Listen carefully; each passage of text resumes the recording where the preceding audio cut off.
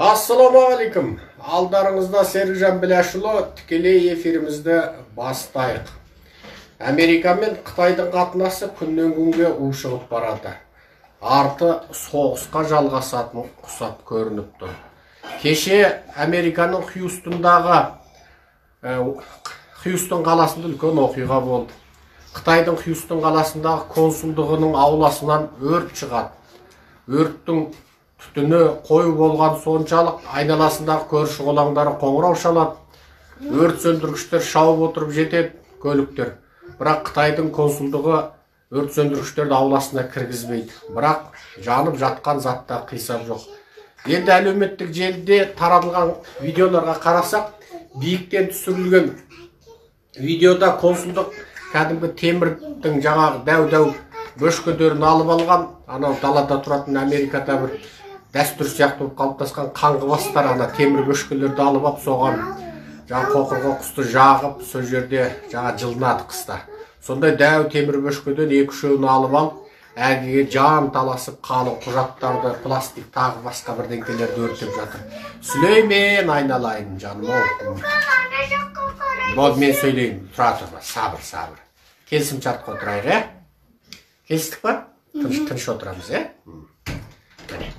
Жігіт жігіт адам деген сөзінде тұрады. Ал енді сөзімізді жалғастырайық. Ай болды. Келістік мына жақпен мына жақпен ымыраға келдік.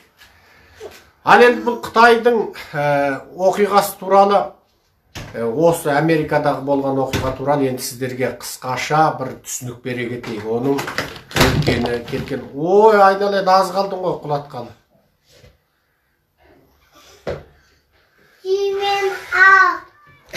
айыпқа бұйырмаңыздар менің қырықбайларым ғой тыныш отыр деген сайын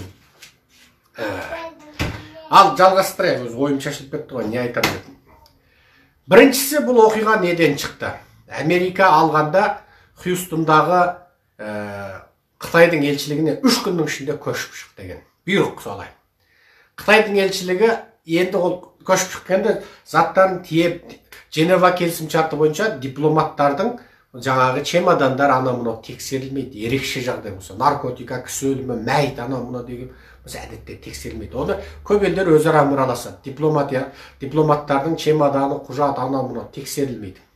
Және женева келісімшартында тағы бір нәрсеге анық ә, жаңағы қойылған дипломаттар сол өзі тұрған елдің ішкі істеріне килікпейді араласпайды. Болды. Шпиондықпен айналыспайды. Енді осы заң бойынша олар сол жаңағы қалың құжаттарын өздері тасып мысалы нью йорктағы консулдығына вашингтондағы елшілігіне алып кетуіне болады. Демек олардың бұл жерде ол затты консулдың территориясынан сыртқа шығаруға болмайтындай сұмдық зат болып тұр ғой. Шықты кез келген уақытта қауіптенуі мүмкін мысалы деген сияқты оқиға болып тұр да. Яғни бұл қытайдың мемлекеті үшін алғанда жаңағы жаннан қымбат болып тұр. Сөйтті де олар оны өртеді. Өртеді. Консулдық консулдық одан не сонша құпия болуы мүмкін демек тап таза шпиондық ақпараттар адамдардың тізімдігі берілетін қаржы жаңағы қытайдың америкаға жіберген жаңағы жұмсақ күштеріне қытай диаспорасы ұйымдарына жаңағы біздегі сияқты жаңағы жалдамалы жазғыштарына төленетін айлық пайлық оларға қашан кім қанша жылап келгенде қанша берді ол жердегі жаңағы аталмыш қытай үшін жұмыс істейтін өтірік компаниялар болады.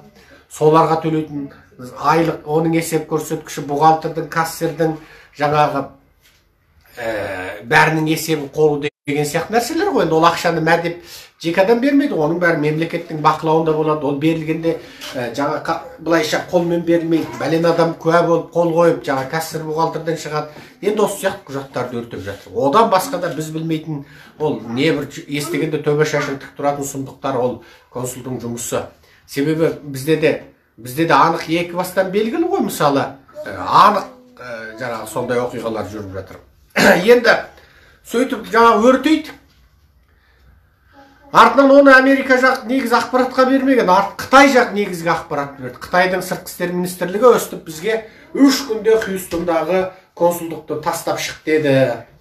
Американың бұнысы өте зорекерлік жаңағы арыстандық ақ көк деп қытай жақ оттады. Жаңағы ә, қытайдың осы шетел медиасына қаратқан хушижин деген бір оңбаған бар соның кеше фейсбугі мен твиттерінде деген енді аузына келгенін айтып жатыр.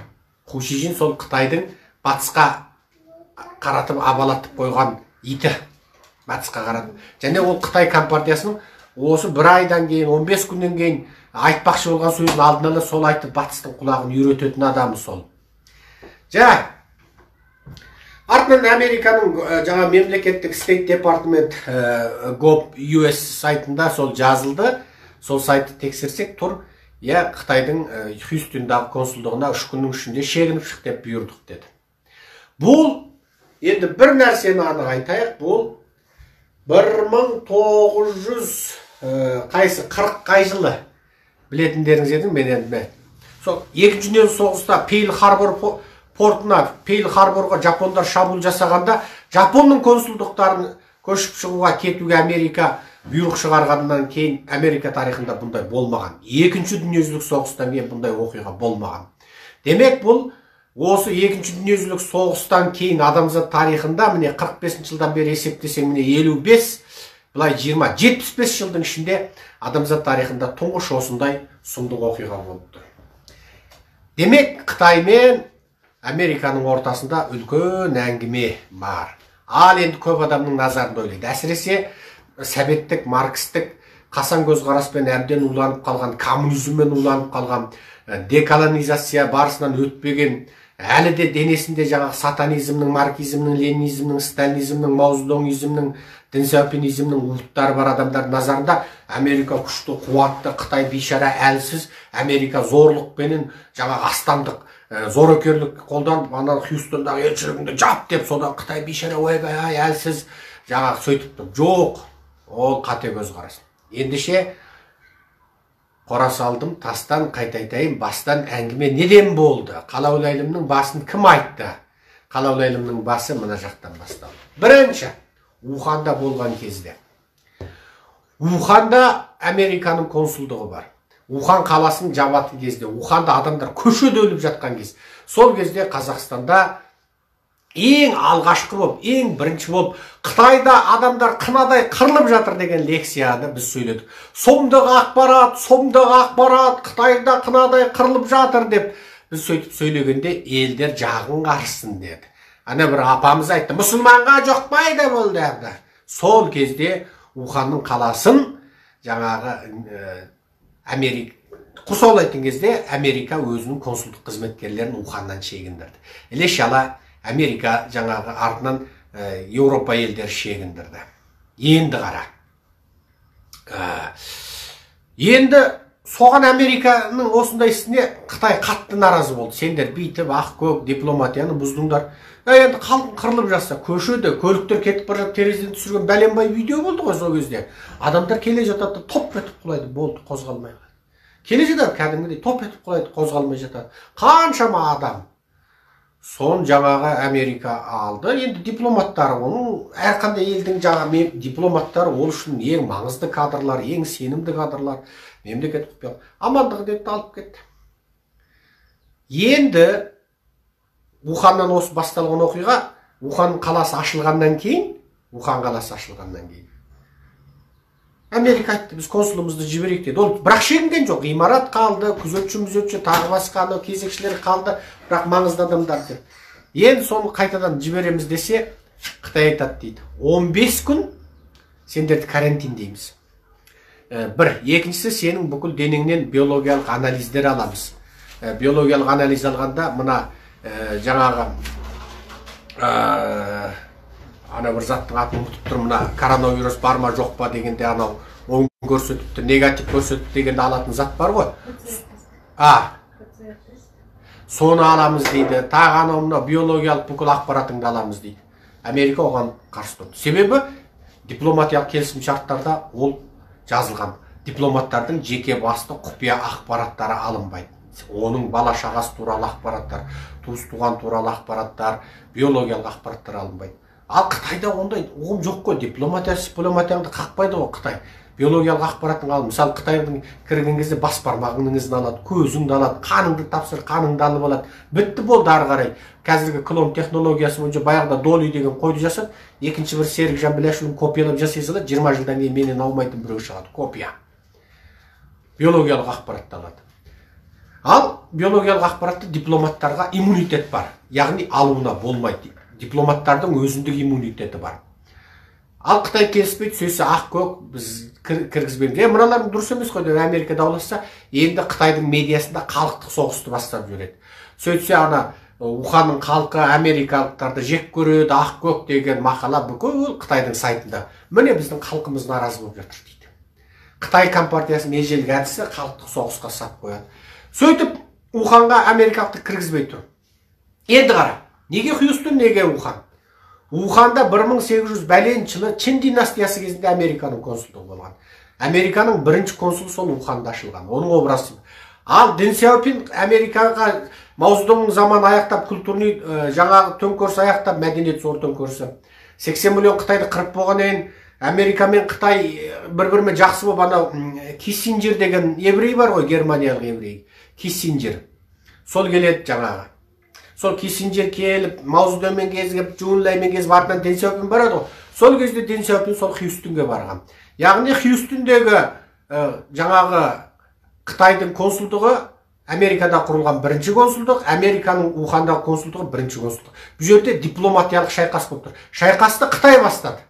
Сондықтан мына америка қытайға зорлық көрсетіп күшінен пайдаланып зорекерлік имперлік пиғыл танытып тұр демеңдер.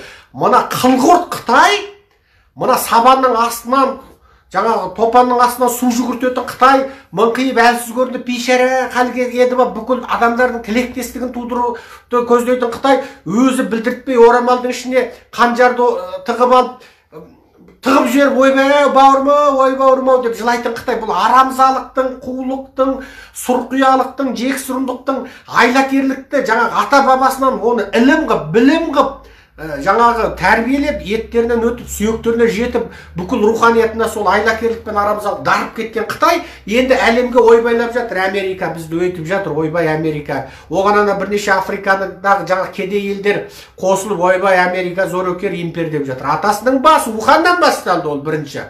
Сөйтіп американың консулы әлі уханға кірген жоқ міне. Кірсең ана жеке биологиялық ақпаратты.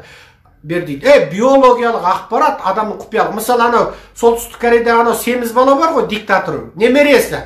Ана ким эрсіннің немересі одан кейін екінші шал өліп қалды одан кейін үшіншісі анау жаңағы семіз бала. Қазір өлі тұрысы белгісіз қазір қарындасының қолында. Ким жон ын сол әуелі нәжісін тастамайды шетелге барғанда. Өзінің машинасымен барады пойызға сол машинасын салып алады тіпті ресейге барғанның өзінде.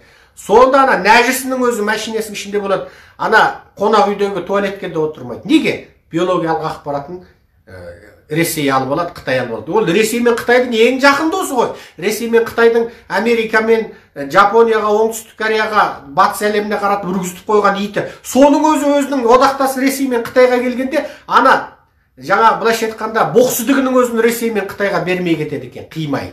Міне биологиялық ақпараттың маңыздылығы. Ал соны қара сондықтан ол бермейді енді гонконгтен басталды екінші дүние гонконгтен басталды гонконгта ереуілдер болған кезде гонконгтегі қытайдың ә, жаңағы гонконгтегі американың консулдығы жұмыс істеді ақпарат анау мынау кәдімгі гонконгте жасайтын сексен мың американдық бар жұмысшысы бар ғалым финанс мамандар банкирлері бар сексен мың бар сөйтсе қытай алдыда гонконгты дүрліктіріп жатқан американың консулдығы шетелдің жау күштері деп оттады екен ал ол дұрыс американың консулдығы анау активистермен кезікті. Бірақ сол активистермен кезіккен күннің ертесі гонконг үкіметінің өкілдерімен кезікті.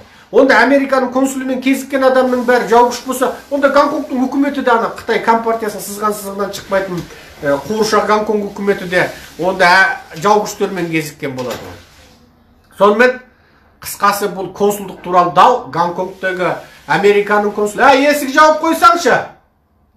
Шарылдатпай гонконгтегі американың консулдығы ухандағы американың консулдығын түртпектеу қытайдан басталды. Қытай сол екі консулдықты қатар түртпектеп одан кейін барып міне американың оған дипломатиялық жауап беруі. Бәленің бәрін бастаушы қытай. Америка емес бұл жер. Мен бұл жерде американың ақтаушысы болып тұрған жоқпын. Бірақ мен тек шындықты айтып отырмын. Шындықты айтып отырмын. Мен бұл жерде трампты американы ақтап жақтап отырған жоқпын. Мысалы трамп соңғы кезде байденнен жеңіліп бара жатыр.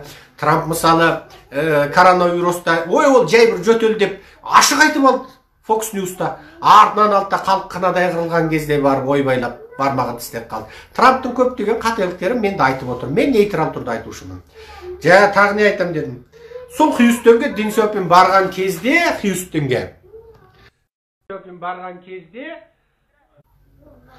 кешіріңіздер. Маған телефон кіріп кетті. Ой құдайдың құдіреті. Телефон кіріп маған қоңырау шалып кетті біреу. Дауысы да естілді ғой деймін сіздерге. Сөйтіп сол дин хьюстонға барған кезде сол жерде анау ковбойлар бар ғой анау сиыршылар деп қоямыз ғой. Сол ковбойлардан ана делегей қалпақты берген дин алып киеді басына. Түскен фотолары бар сол кезде. Сол дин барып сол бірінші консулдықты сол хьюстонде құрады. Сол америка мен қытайдың жетпіс тоғыз сексенінші жылдардағы рақайласу сол жерден басталған. Міне көрдіңіз ба сол әңгіме енді өстіп күрделесіп бара жатыр өстіп күрделесіп бара жатыр.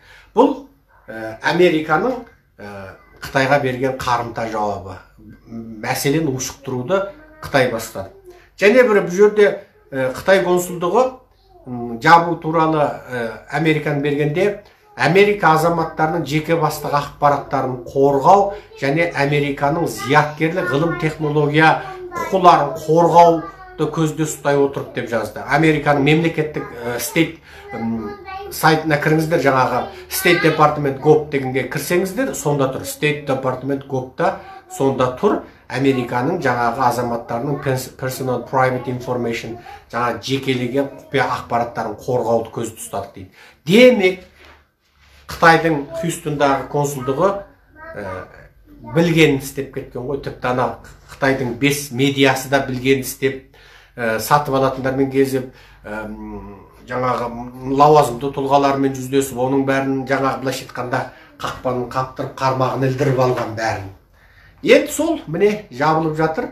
Ә, тағы бір нәрсені айтайын хьюстон деген не? Хьюстон. Мына американың фантастикалық фильмдерін көрсеңіздер немесе мына насаның фильмдерін көрсеңіздер хьюстон хьюстон хьюстон деген дауысты естисіздер ғой. Сонда ана ғарышта отырып спутникте отырып немесе жаңағы әлем ғарыш кеңесін. Әй ұлдарым ей ә, сол ғарыш кеңістігінде отырып жаңағы олар сөйлескенде хьюстон дейді. Хьюстон насаның орталығы әлем ғарыш кемесін зерттеу орталығы сонда. Жаңағы хьюстон бүкіл американың жаңағы авиация технологиясы ғарыш технологиясының ордасы сол жерде бүкіл ғылым білімнің ордасы сол жерде ғылыми институттар сол жерде. Ол хьюстон американың былайша айтқанда ең озық ғарыш технологиясының ордасы. Қытайдың шпионаждық мекемені сонда құруының өзінің жаңағы әңгімесі сонда жатыр. Екі елдің ортасындағы күрделі қарым қатынасты сіздерге біраз түсіндірген болдым. Ә, негізі екі түн ұйықтаған жоқпын. Мына білмеймін соңғы кезде бізді мына сотқа бергеніне байланысты ма? Бүкіл батыстың журналистері мына олар да бізде түн болғанда олар да күндіз ғой сол. Алдыңғы күні түнде бір бір канададағы бір қырт біреуменен ой ой ол енді қырттың қырты екен сұрақтың астынан алып ә, оған таң атқанша интервью беріп кеше түннің де бір уағына дейін өзі білмеймін мен сонда сол сөйлесіп жатып ұйықтап қалыппын мен. Телефонды өшірмей анау сол халау халау барсың ба? деп жатып ұйықтап кетіппін ә, сол міне ата жұрт туралы бүкіл батыс білмеймін германия хабарласып жатыр. Ә, сол шаршап тұрмын да негізі уағында айтатын едім сол ойымда шашырап мына ұйқым көзімде бүйтіп тұр білесіздер. Енді ол журналист дегенде жаңағы ақша беріп әрең жаз табасың ғой оны. Өздері хабарласып тұрған кезде енді жылайтын кезде жылап еңіреп айтып қалу керексің. Сол жақсы. Сәлден кейін сіздерге тағы мына халықаралық ауқым туралы біраз әңгіме айтамыз. Түрім біраз шаршаңқы болып сөзім біраз шаршаңқы болып тұрса айыпқа бұйырмаңыздар кешірім өтінемін ә, бір кеңдеу үй жаңа кеше. Кеше үй іздедім содан сол үй таба алмай жүрмін мынау енді білесіздер бір бөлмелі үй ас үйі бөлек кішкентай бір тіпті бөлек бөлме деуге де келмейді. Балалардың бөлмесі құрттай біреу бар. Соған мына қырықбайларыммен сыймай жатырмыз. Соған өзіме арнайы лекция сөйлейтін бір бөлек бөлмесі бар. Балалар бөлек тамақ ішетін жері бөлек жуынып шайынатын жаңағы мүмкіндіктері бар ауласы бар сондай бір жер үй ма коттедж ба іздеп жүрмін. Соны айыпқа бұйырмаңыздар шаршаңқырап та жүрмін. Тілшілер бір жағынан қазақтар бір жағынан арыз жазып жан жақтан әйтеуір тыныштық болмай кетті. Қазақ үшін кім күрессе негізі соның тағдыры сол қазақтар соны ең соңында сотқа беріп үнін өшіріп атын шулатып балағынан алып жағасына жармасып өсегін айтып дүрілдетіп сөйтеді қабанбай абылай хандар ә, біздің заманымызда болса әй оларды да күйікпен өлтіріп жібереміз. Күйікпен өлтіреміз кенесарыны кенесарыға жол бастаған сол өзіміздің қазақ қой. Кім жол бастағанын айтпай ақ қояйын. Кенесарыны орыстың әскері қуғанда соған жол бастаған өзіміздің қазақ. Себебі кенесары өлмесе ол қазақтар сұлтан бола алмайды. Орыстар қолдан сұлтан жасады. Қазақтың хандық түзімін хандық жүйесін орталықтан басқарылатын кәдімгі әкімшілік жүйені құлату үшін бөлшектеп әр тайпа әр руға бір бір сұлтан қойып қойды. Сұлтан ана кішкене кішкене сұлтандық жүйе. Бізде де ешкім шықпау керек ешкім халыққа саяси әңгіме айтпау керек көзін ашпау керек көкірегін оятпау керек әңгия деп аңырап жүру керек бүкіл қазақ. Мақсатты жоспарлы түрде арнайы ботафермалар жалдамалы жазғыштар жүйелі ұйымдасқан түрде бірнеше бағыттан ұқсамаған көзқарас ұқсамаған топ ұқсамаған кландар жалпы беттік шабуыл өтті. Серікжанды қаралау жалалаудың екінші мүмкін үшінші мүмкін жүзінші толқыны басталып жатыр. Жақсы бәріміз аман болайық. Айтпақшы кеше анау сот туралы сөйлесіп отырып әзілдеп енді ашты ажуа ғой енді жұғысты болсын деп қойдық. Неге жұғысты болсын? Елің үшін еңбек ет сен немесе сенің ұлың сөйтсең басың сотқа ілінеді. Дауға ілінеді қойыңды бағып жай жайыңа жүрсең тыныш жүресің. Ләппай бегім мақұлбай шүкірбай болсаң тыныш жүресің. Бірақ шындықты көріп тұрып отқа күйетініңді біліп тұрып отқа секіріп түссең осындай болады. Яғни жақсы адам болғың келе ме? Бетің жарық әділетшіл ақиқатшыл адам болғың келе ме? Осындай сотта дауда жүресің сол үшін жұғысты болсын деді оны түсінбеген ел ойбай неге жұғысты болсын жамандық несі жамандық? Сотқа беру сотқа бару полицияға түсінік беру жамандық па ол жақсылық. Қалай жаман? Ол осы ұлттың ішінде біз сияқты әділетшіл күрескер жігіттердің бар екендігін кешегі алаштықтардың арманын өшпегендігін кешегі оспан батырдың туы жығылмағандығын кешегі кенесарының қаны босқа ақпағандығын көрсетеді. Қазақтың ұлттық мүддесін қорғайтын қазақтың еркектері әлі бар екендігін көрсетеді. Сондықтан сот жұғысты болсын дедім.